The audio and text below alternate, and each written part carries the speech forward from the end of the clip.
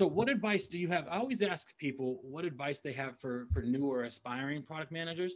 Um, with with your background, you know, I have so many friends growing up that were high performing athletes in high school, went on to high performing athletes in college, and and you know, I, I look at it as like a non traditional path into tech, but I hear your experience and I look at my experience as a retail manager, as a retail manager, um, all the skills that transferred over. Um, what advice would you give like a collegiate athlete today, um, maybe just thinking about tech?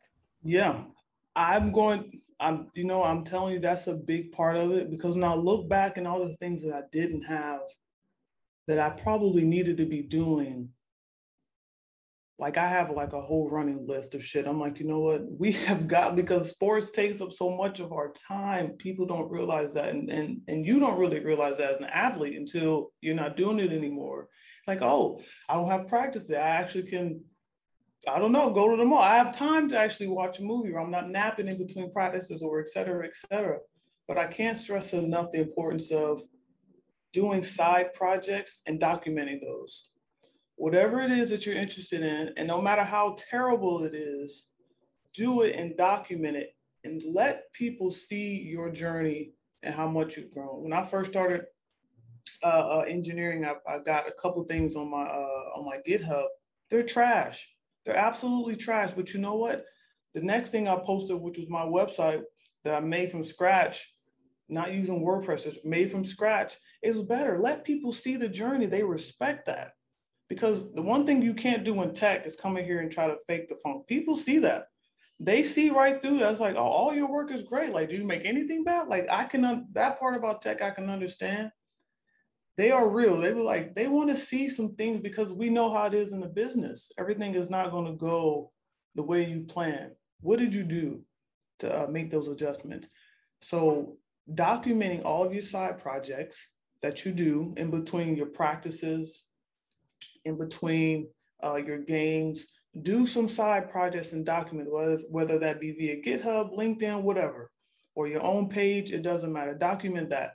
And I'm also going to say you got to start talking in front of people like this. Only time we really talk in front of people as athletes, you know, is if we're doing an interview or something like that. If we're if we're popular enough to do do interviews, because our game film is our interview.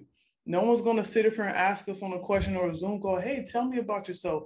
And us as athletes, we hate bragging because what do we say? It's team first. I didn't do this by myself. That's not me. That was my biggest problem when I was interviewing with product. It's like, you're not taking ownership enough. I'm like, yeah, but I no one, I didn't do anything by myself. But they need to hear what you did. It's not about the team. What did you influence and how did you influence that?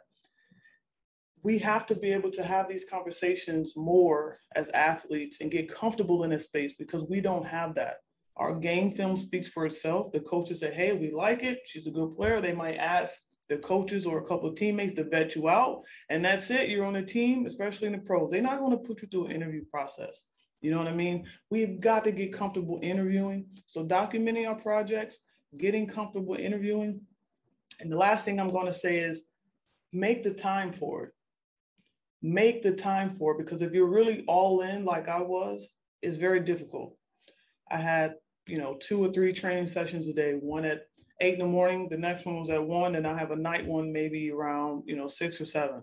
That's a full day's amount of work. I'm tired. I'm napping. You know what I mean. I'm recovering. If if you're really big on nutrition, eating all the all the carbs and uh, calories and pro, that's a job itself. All right, it's a full time job, but make time for it. You have to make time for it. We only get a short amount of time uh, to play sports.